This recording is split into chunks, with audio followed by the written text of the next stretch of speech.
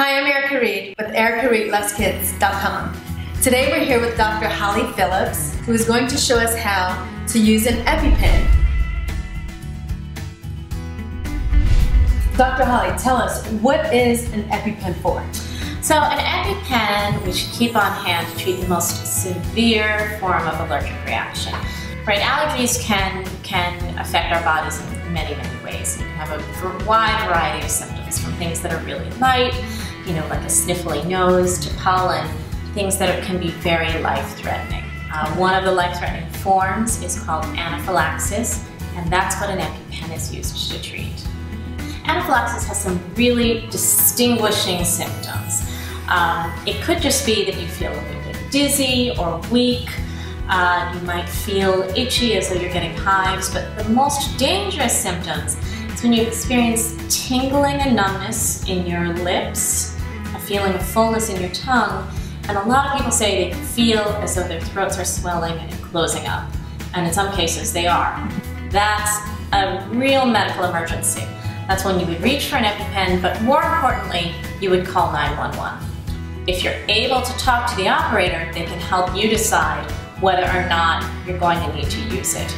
If you're nowhere where you can reach 911 or they're not responding right away, then you would go ahead and do it. Now, I know that an EpiPen comes in, you know, now they have new ones on the market, there's just various ones out there, but the one that I'm most familiar with is the junior pack as well as the adult pack.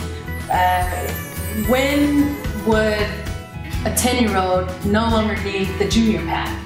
The junior pack is for kids who are between the weights of 33 pounds and 66 pounds.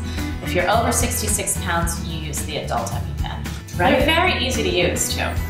So, you know, this is this is just a training one. But with a real one, you would take it out of the out of the packaging, just like this. You just pull it out, and then once you pull it out, it looks like this one. Um, and here's how easy it is to use. You take off this blue safety valve, and then you're just gonna hold it. They call it in your dominant hand, so if you're right-handed or left-handed. You insert it in your thigh is the ideal place. Don't take time to take off your clothes if you're very, very sick. It can go right through the clothes. And you hold it for 10 seconds. So you can inject it through your jeans, Absolutely. through your pants, okay, sweatpants. It's actually suggested that you do that rather than taking time to take your clothing off. The medication that's in it, tell me a little bit about the medication. The medication is called epinephrine. Uh, it is really used in an emergency setting. Um, it will almost immediately take away some of that swelling that can be life-threatening where it blocks your breathing. Um, but it in and of itself has some side effects, right? It'll make your heart race fast. It's not a medication to use unless you need it.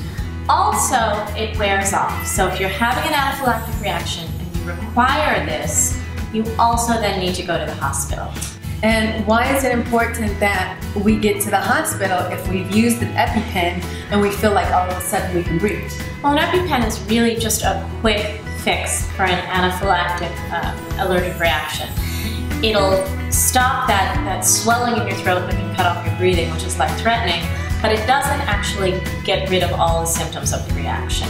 So it's important to get to the hospital so that you can be assessed so that they can give you other medications to stop the allergic reaction, and then you're there in case of any emergencies. I tell you, don't give up at home if you have food allergies. Just make yourself more aware. Um, it's really about bringing awareness into your home and, and educating yourself. I'm Erica Reid with ericareidloveskids.com.